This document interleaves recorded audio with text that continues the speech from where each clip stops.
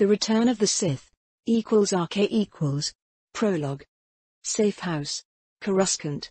The man known as Alan Gray sat in front of his computer terminal and wondered how to best describe the situation across the galaxy. His official job was that of an informational broker.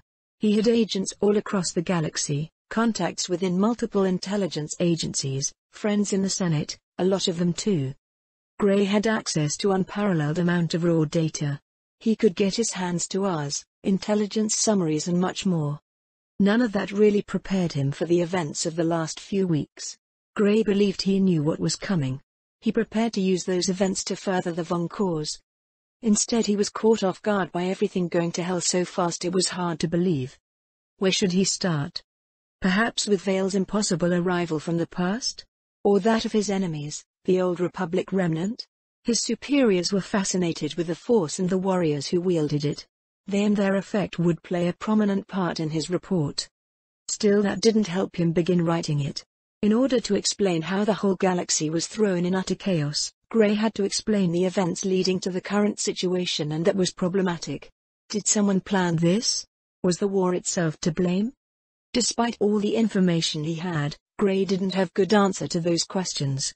Well, there were the facts. The ORR arrived a few years ago, didn't like what they found so they infiltrated the Confederacy of Independent Systems. Their plan was obvious in hindsight, make a war between the Republic and Sith inevitable, then escalate it until the only viable resolution was a military victory. Then ensure that both the Republic itself and the Sith who originally engineered the war were gone. That at least was Gray's conclusion when he analyzed the data. Of course, officially the ORR were allies to the Sith and fought to save the galaxy from the Sith. It was unknown if they engineered the coup withing the Confederacy which removed Dooku from power so they could safely reveal themselves or if they stood up only after the Sith was removed. Gray had conflicting data on that point. Of course, one couldn't think about the Sith without Vale jumping to the front of their mind. A Sith from long forgotten age, a competent general who joined the war on the Republic side and if you trust most of the data Gray had, almost single-handedly ensured that the Confederacy didn't win the war during the first year of the conflict.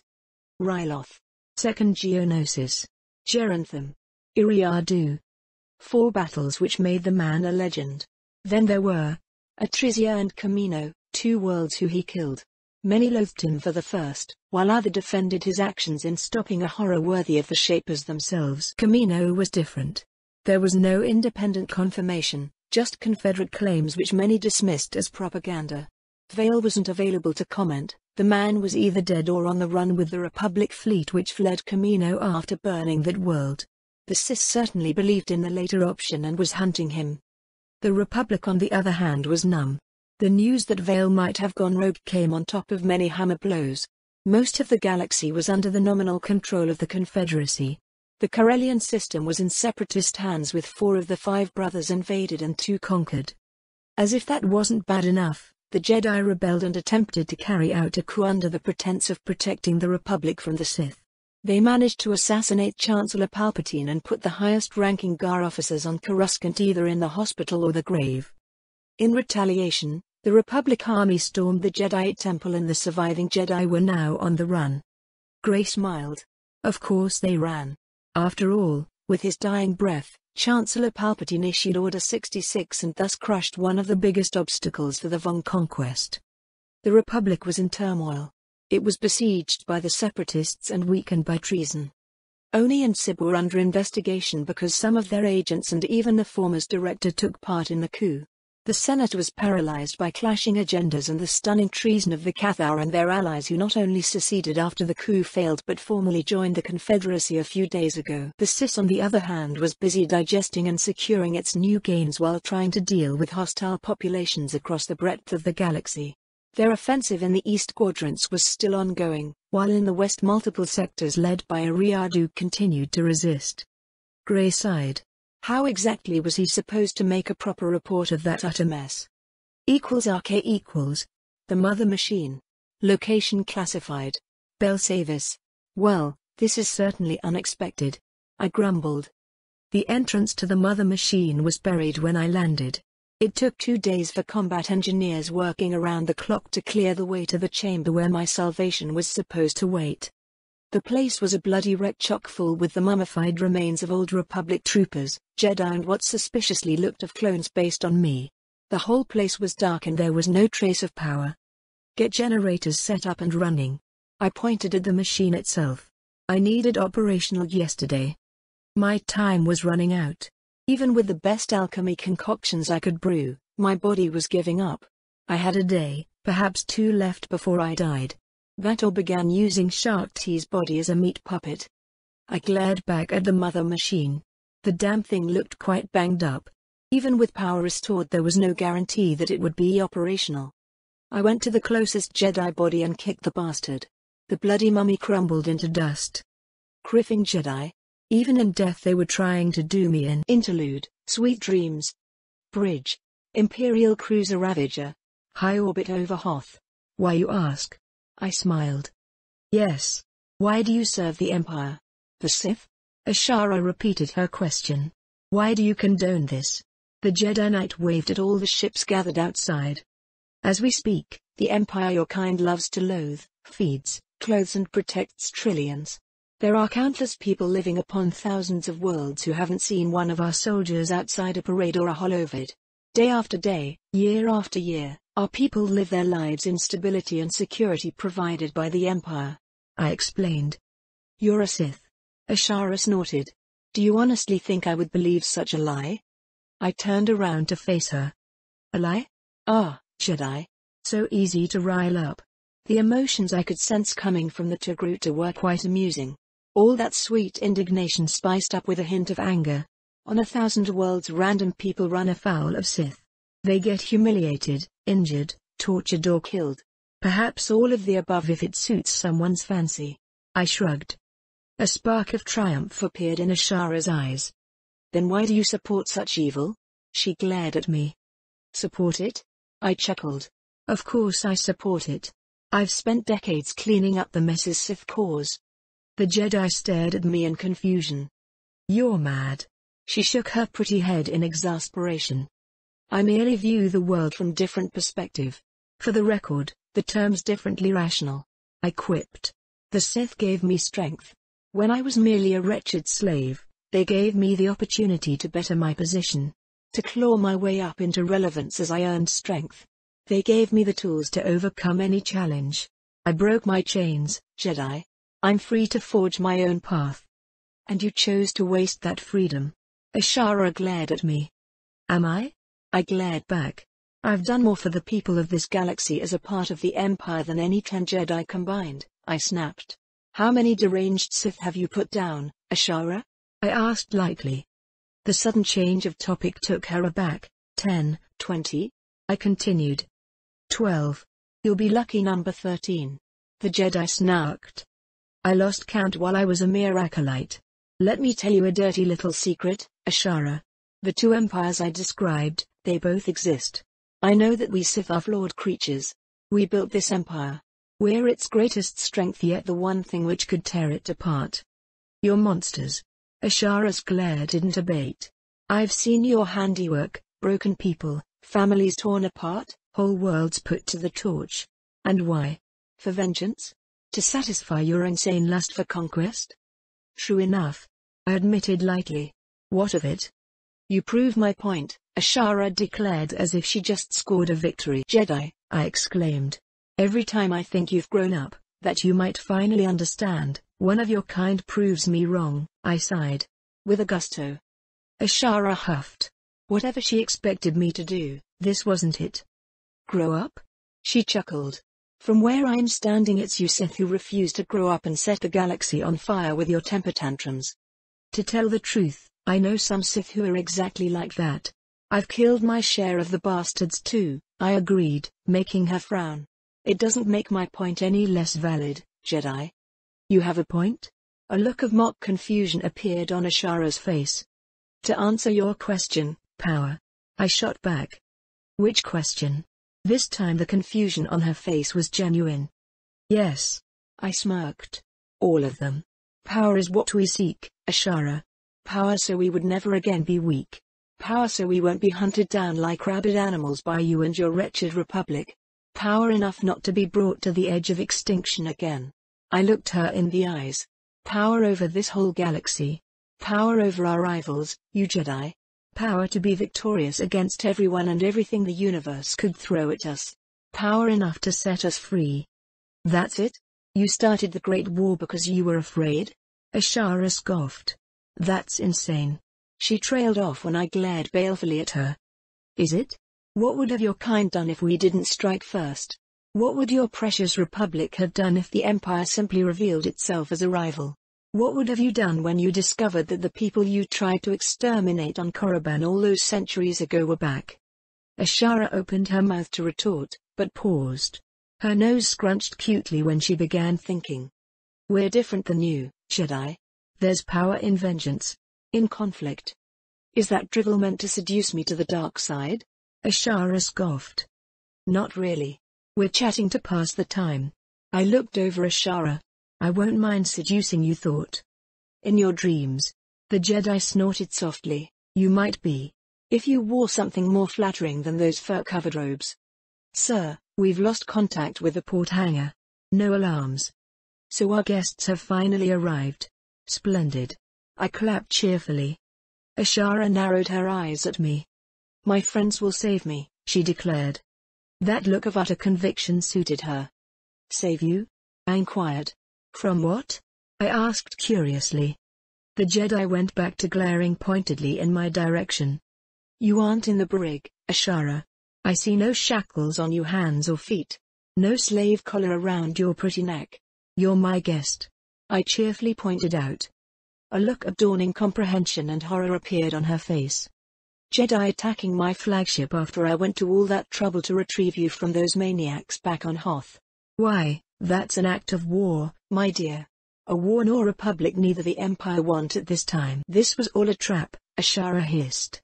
I don't know what you're talking about. I didn't even try to hide my amusement.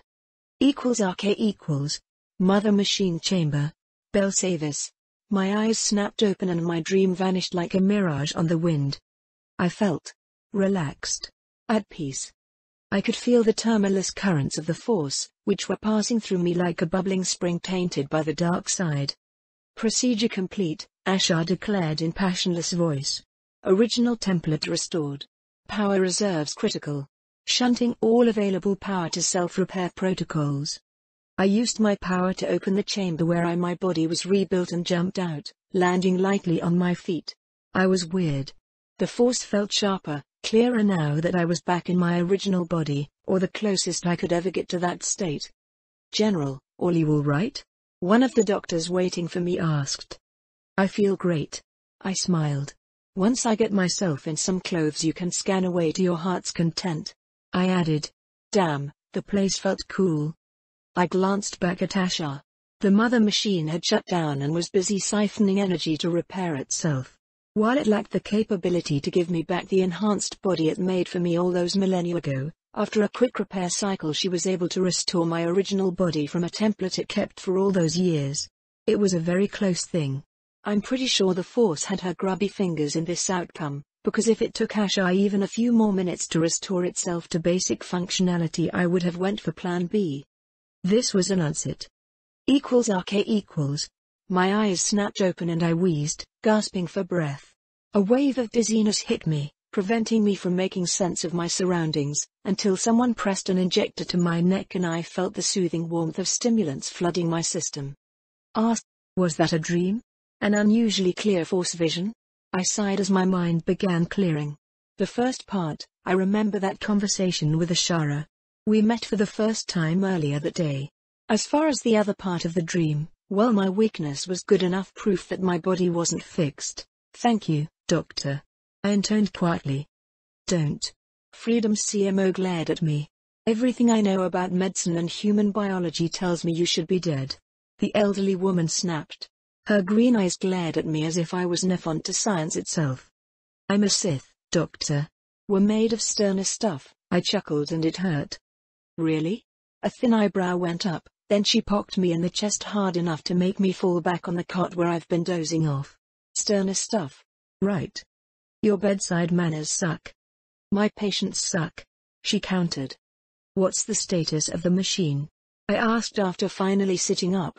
It took three tries until the stimulants finally kicked in and returned a bit of strength to my ravaged body. It's still sucking in all the energy it could. No change otherwise. You're out of time, General. I know. Have the prisoner brought down here. It looks like Plan B after all, I sighed. This would complicate things. Still, it beats dying in his hole. AN1, to preempt a few questions, the interlude above is Delkatar dreaming of the past, followed by dreaming of what he hopes to happen as the title suggests. The last part is Vale being awake and afraid that his body is going to fail before the mother machine could be repaired. What happens on Belsavis will be revealed after few updates covering events on Coruscant. AN2, this short story is by Pef on the Space Battles forums, posted with his slash her permission. Equals RK equals. Interlude Pef's corporate misadventures I equals RK equals Planet Farana Corporate Sector World Very newly settled. Don't mind the natives. Wake up Pef, school starts soon I heard my mum yell while passing beside my door. Bantha poo. Gar. Living in Star Wars was not the adventure I was hoping for. See new worlds, meet new people they said. Right. A crappy apartment in a crappy town on a crappy planet. In the armpit of the galaxy called Corporate Sector. Visit Bonadan, the sector capital. Experience the velvet pleasures of a thousand worlds, in a single place. Ha! Damn commercials. If I found a job, if I worked hard to pay the school debt, if I saved all my credits in my potential future job for 10 years, then I could buy a ticket to Bonadan and stay in a hotel for a week. Or visit a pleasure resort for one day. It's not exactly slavery, but not much above it. I willed the door to close and started my mantra again. The Force is with me, and I am with the Force. My strength is my own. I will not break. The Force will set me free, one day. I wish I knew the right words. Yay, right. I sighed and opened my eyes. Today was sector administration and the bureaucracy lessons. You can do it, Pef. One more year and school is over. Then you can climb the corporate ladder, and be a model citizen. I mused to myself, then rose and went on my morning routine, washing and all. I checked myself, uniform tight and proper, corporate ID, a cred chip for lunch. I will survive.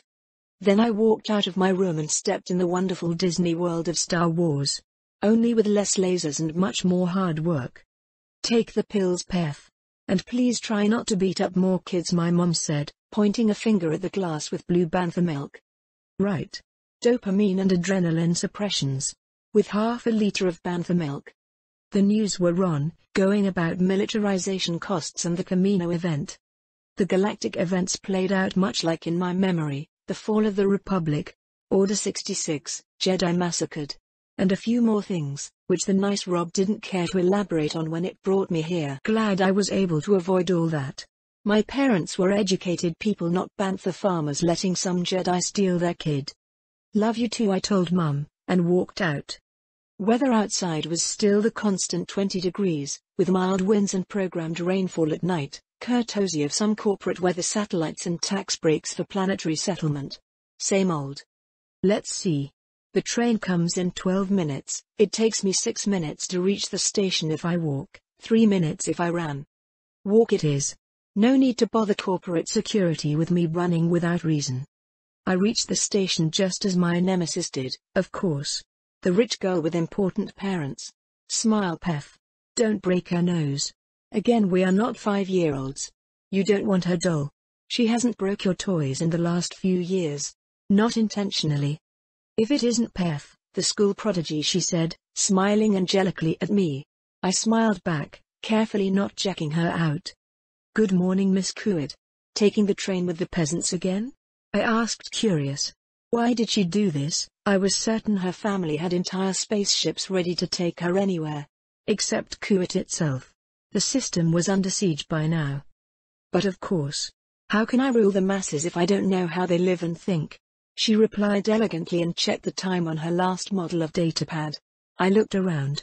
Two security bots and a few Kuat mercs on the train platform, idling around for no reason. Mere coincidence. Yes, how stupid of me. Glad to know our future masters have their citizens in mind I replied politely, and not clenched my fists at all. Not even once. A few Oxinen stepped closer, their black pupilless eyes giving me the creeps as always. Right, the train was coming. The girl stepped closer to me, and hooked her arm in my elbow crook. I am in your care, my knight. See me safely to school? She asked, smiling again. Sure. Why not? The mag train came and we bunched up inside, along with a million other people. The girl smelled nice, and her skin felt very soft. Especially the softer parts. She must be doing this on purpose. There's no rational way to go about it. So, Sector Administration A? Today is gonna be fun I told her amused, and pushed a native away. The train was packed, but not that packed. The test will be easy. For prodigies she answered, somehow managing to step even closer to me. Way too close. Wait, the test? Not again. I swear she bribed the teachers somehow. I grumbled nervously, trying to figure out which lessons will be tested. You didn't know? A. The articles of incorporation should be easy enough she joked, fanning herself with her free hand. Very posh. Damn it. I'll have to drain some brains again. Can't have my grades drop even one point. I have to be first. School first, then a job interview. Any corporation but Kuat. The train shook, and came to a stop. Power failure. That was strange. Public transportation was hooked in the planetary grid. Fusion reactors, protected by theater shields. They wouldn't just fail. A flash of light, beyond the atmosphere. Then more and more. Damn it. The Clone Wars have arrived. Equals Ashe equals, Interlude PEF. Planet Farana. Corporate Sector World slash Zinsk, disputed. The girl's eyes narrowed as she listened to some short bursts of panicked voices in her earcom. I was just glad my emotions were subdued, fancy drugs or not. Wouldn't do to lose control just now. I just closed my eyes and opened to the Force. Zinsk Empire trying to retake the planet, counting on sector fleets being massed elsewhere. 40 assault vessels, 22 frigates, 1 battleship. Lucrehulk class, the donut shape easily recognizable in the Force, even at this distance. The planetary forces were fucked. Fighters were dying out there, pings of pain echoing in the Force. A larger wave of pain came from somewhere north, most likely another theater. A shield failing. Along with its engineers and garrison. We need to get of this rock we spoke in concert, like a weird echo. I blinked once, and my fingers twitched, imagining myself piloting a fighter into the command sphere and blowing up a reactor P. Elon in the command core. Right, as if. I was not the chosen one. Let's go I said, dragging the girl after me, and punching the plasglass window with my credit chip. The window exploded outwards, and I jumped, the force enveloping us both in a protective shield. The chip was broke too, but at least it did the job. Best 10 credits ever spent. We ran, as the first ship started breaking through the atmosphere, and death's echoes climbed in an ever-increasing crescendo, somewhere in the back of my brain. The starport is the other way, Clarice yelled, pointing at the obvious trap. I know. And they know too I yelled back, heading towards the first parking lot I saw. Let's see, Truck Chan, Van Chan, Bike Chan. I climbed onto one, and let the force guide my fingers, opening the SIC pad and typing a random string of numbers. Being calm helped too. It even worked. Random accidents were the last thing with the force. Operator, I need hoverbike piloting skills. I recited in my mind as the G-forces took over and we took off at high speed. You can drive? The girl yelled in my ear. Of course, I yelled back. Now, if only I could remember how to stop. A feeling of peace took over, my motions certain, my destination in range. Smuggler Port, 32 k's east. About 10 minutes then. Have your people secure my family, then go dark. We'll come back with a fleet I told Clarice, my voice steady. Her grip became tighter for a second, then she started barking orders in her com. She felt scared yet confident. Not a coincidence at all then. The smugglers were preparing to flee as well crates being loaded up on their freighter. A droideka began unpacking as we came into its sensor range. Damn things were everywhere, I swear. Oh well, at least I found a way to break. Hold tight, I yelled, and jumped, guiding our fall behind the droid, then bringing the force up to shield us from the impact with the ground and the explosion behind us. One, two, three. I waited for the plasma gases to dissipate, then jumped again, landing on the ship's plank. A Zabrak, a human, a couple of Oxynans. I dived under the blast of fire, grabbed the knife handle from the Zabrak's belt, and let the force do the rest. Six seconds, six kills. Damn. I was wiped. My knees bent and I fell, the metal reverberating strangely. Oh. My knees. Pef. Are you injured? The girl cried, running towards the ship's plank. Just tired, take us out of the atmosphere then turn off everything. I muttered as she reached me. We'll be sitting ducks. Why would we do that? She asked curious, as she carried me towards the cockpit, and threw me into a seat. I wanted to explain but, sleep. That sounded as a good idea. Orbital mechanics will take care of the rest. I woke up much later, the girl wrapped around me, along with a few thermal blankets, and tied herself to my chair. Well, I did say everything, so she turned of life support and gravity as well. She was trembling too. I flicked the nav and life support back on, and checked the screens. Farana kept falling around the sun, the blockade fleet locked in geosynchronous orbit. Eight towers at 34 k's per second. Over 250,000 k's already. We'll need to be a million k's farther, before we could engage the engines undetected. More sleep sounded good. Equals ah, Ashe equals. Interlude PEF. Planet Farana. Corporate Sector World slash Zinsk, disputed. The smell of synthcaf woke me, alerting my Pavlovian instincts. And I didn't even drink the bantha poo. I mean, not in this life. This life, I drank milk and anger management pills. Did Kuat got wind of my psychotherapist? Did they read my files? Privacy laws were mere suggestions in the corporate sector. And if they got wind of that, what else did they know? Miralu Khan self-defense course? My search logs on the Holonet? Contrary to what someone might expect, the galaxy was quite silent about Force teachings. Almost like someone was erasing every single trace of them. I checked the nav screen, GravWell estimations folding the system map like bowling balls on a trampoline.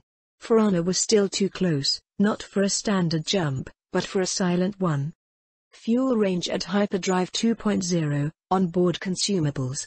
One month for six adults, three months for two people, maybe four months, if we were careful. Steam coming from the shower. Make that three months then. Clarice wouldn't know how to ration. The Hydian Way superroute was marked in black in ship's nav. Right, smugglers wouldn't use that. Too many taxing polities. 18 red routes, and 14 yellow routes. One route was preloaded, though I was not gonna use it. Not with a female companion. Hutt space was nasty. Would going to Bonadan help anyway? Probably not. Even a Kuat affiliate would have trouble extracting help from the mega barons and Clarice was not of age anyway.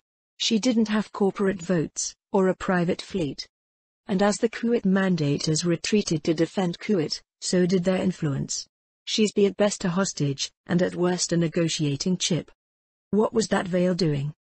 Damn Sith Lords. Blowing up planets, no matter which continuity. Pef, are you awake? Clarice asked, entering the cockpit, skin still wet and wearing a towel like a toga. I was awake now. Too awake. The force is with me I replied, closing my eyes. Dan, now he's a Jedi. She muttered, then turned around and left. More games. You wouldn't like to show you my other side. And going by the migraines forming in the back of my eyes, she will find out soon enough. No more drugs. How long are we gonna drift here? She yelled, partly muffled by some texture. At least twelve hours. What's for lunch? I yelled back. Silence.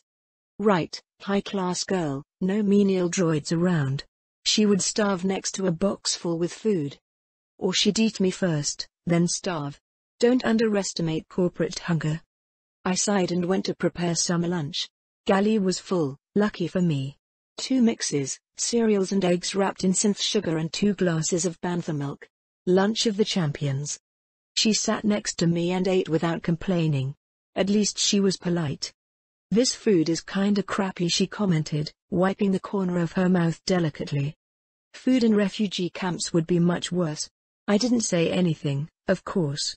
This was exactly the crappy food I ate at home. Couldn't praise it now, could I? At least it wasn't sea cow milk, fresh from the source. Your family left you to die. Or at least fend for yourself. They knew Farana will fall I said, eyeing her with calm eyes. She looked down, and stayed silent. Kuat will survive, don't worry. Worst case, someone else will pay for the ships I continued, raising and heading towards the cargo hold. Corellian freighters, C1, you seen them all. I started taking inventory, ignoring the dead bodies at the entrance. Droid parts, electronics, missile parts, more electronics, blaster parts, more electronics. A supply run for some private militia maybe? I turned back, ignoring the girl staring at me, and started checking the bodies for a manifest or a contact. Some credits, some hot credits, flashing with banking warnings. Weapons placed separately, blood sticky on everything. Datapad. Let's see. Deliver parts to Hutt Gormagotzul. Take over Zamia Sapling. Deliver to. Wait. Zamia? Hutt space it is then. Ten days of nightmares, then never again. I had a plan now. What did you find? The girl asked, trying to grab the pad. I let her. She wouldn't know what the manifest meant. A weapon I replied, piling the bloody weapons into a coat, and dragging them towards the bath. Blood washes easily, madness stays forever. I started cleaning the weapons, going over each of them with the force, looking for structural defects. A blaster pistol seemed fine. Tibanna gas at 80%. Energy pack full. Good for 80 shots then. Blaster rifle, about to self-destruct. We'll arrange that to be certain then. Thermal detonator, smelling of Jebruk blood. Good enough. Stunner prod, mainly used for slave entertainment. I let a trickle of energy pass through my hand and into the handle. Electric blue. Not my prefe. Red color, but will do for substitute lightsaber. Blaster rifle, mostly functional. Fired recently and missed.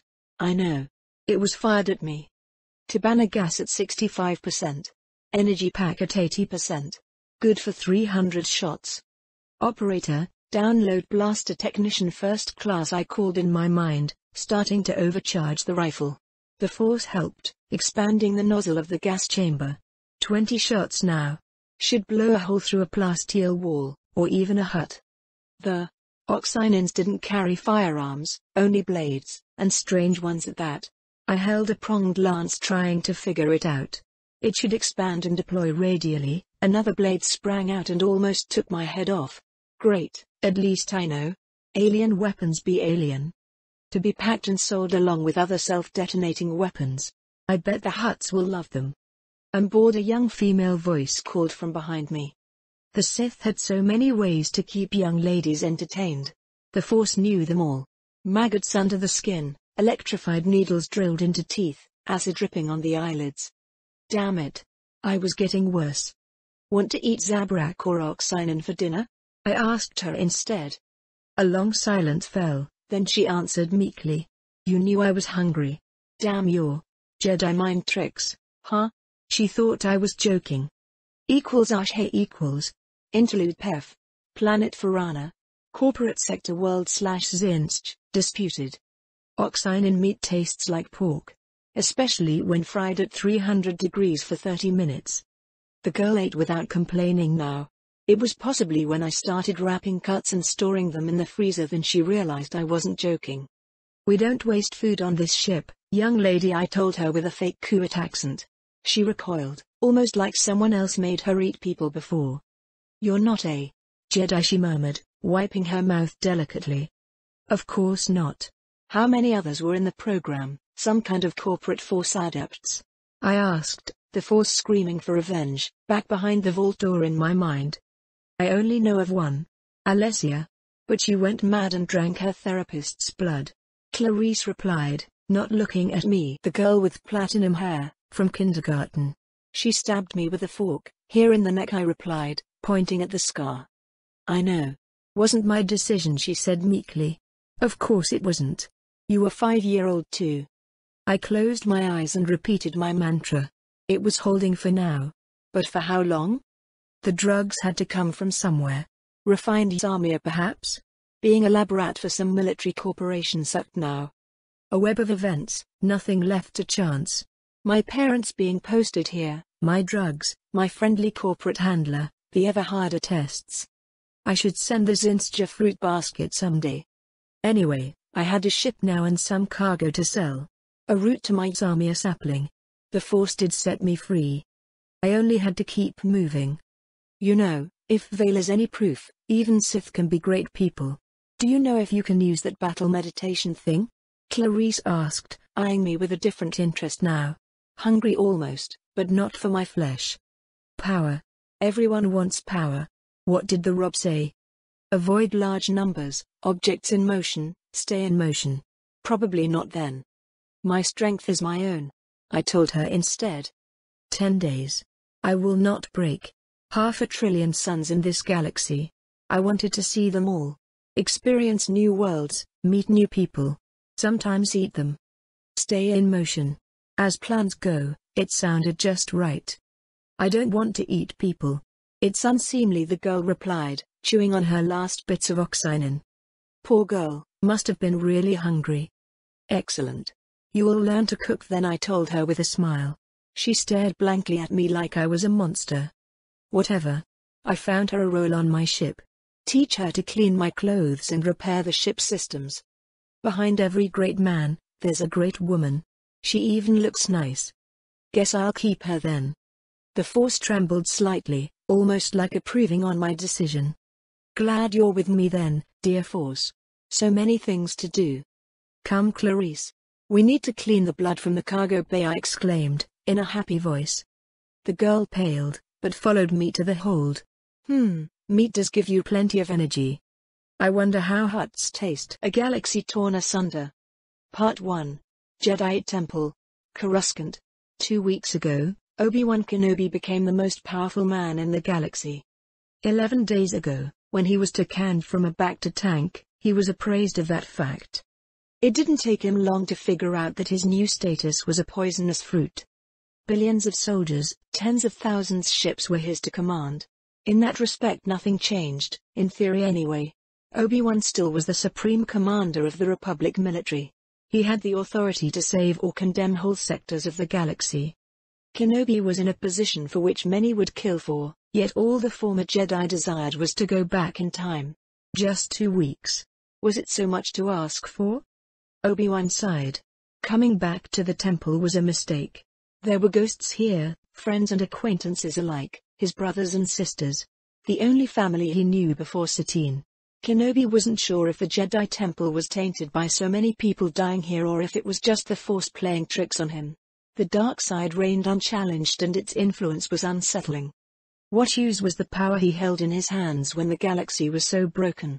The Jedi Order was for all intents and purposes gone. The lucky ones managed to flee Coruscant before Yularen's fleet arrived and locked down the whole planet. Even now, there were whole clone armies spread all over the planet either maintaining the martial law or hunting down Jedi. Even as GAR's supreme commander, Obi-Wan lacked the authority to call off Order 66. He could do anything, condemn or save whole sectors of the galaxy, but only as long as his orders didn't interfere with the hunt for the Jedi. It was Cody of all people who made that stance crystal clear. For a thousandth time, Obi-Wan cursed himself for a fool. When he found the clones on Kamino all those months ago, he should have been even more curious. I should have asked better questions, Kenobi sighed. Even now he was unaware of the full scope of the contingency orders binding his army. Cody told him all he could, though he inferred that there were at least few other orders besides 66 which could be given or stopped only by a dully elected chancellor. That was a problem. Sir, the Senate is already in session.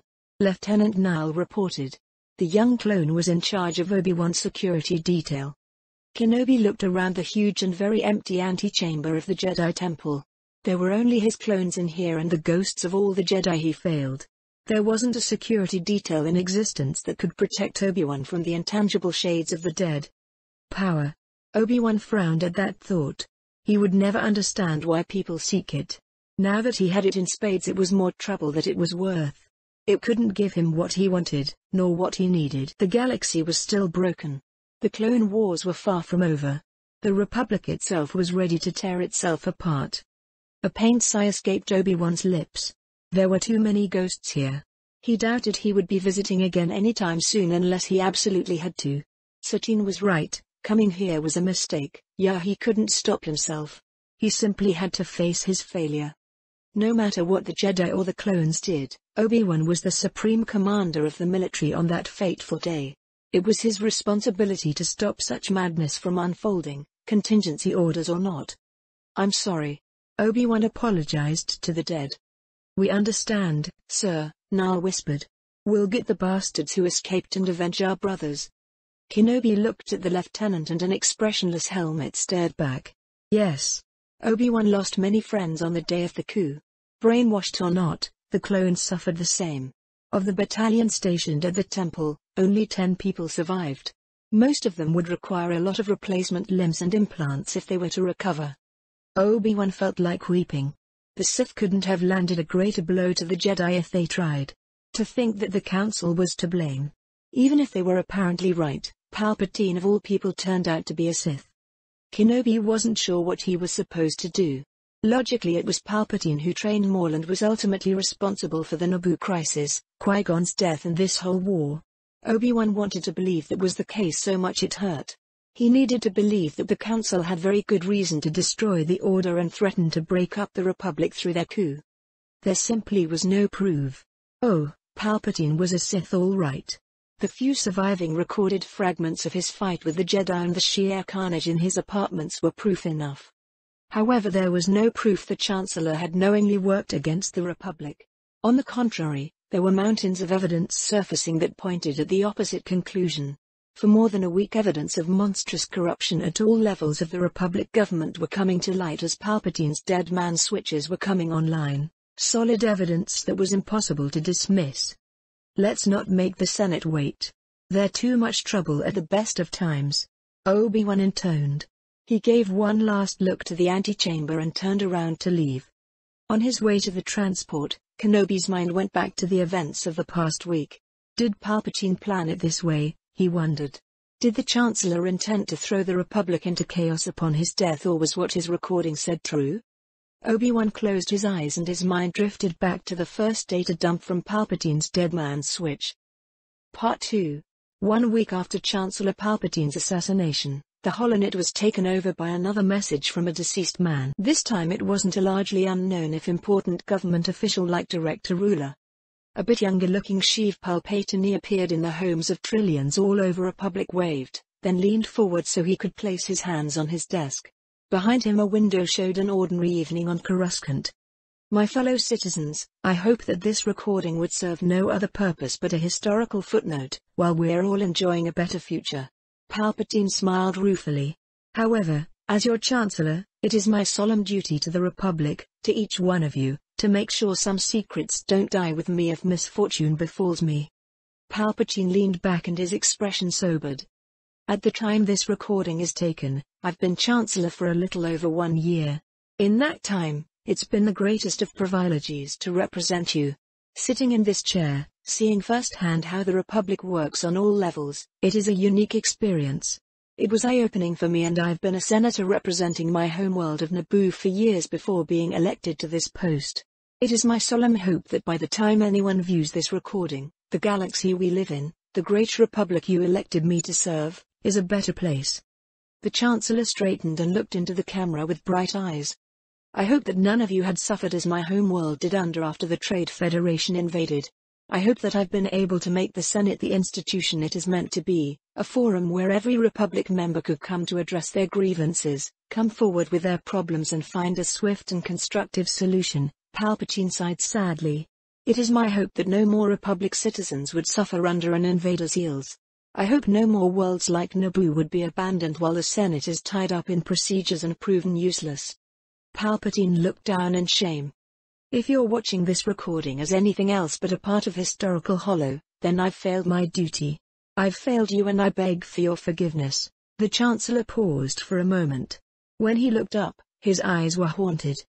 I can't in a good conscience let the Republic continue be the inefficient, corrupt mess I've come to know as a Chancellor.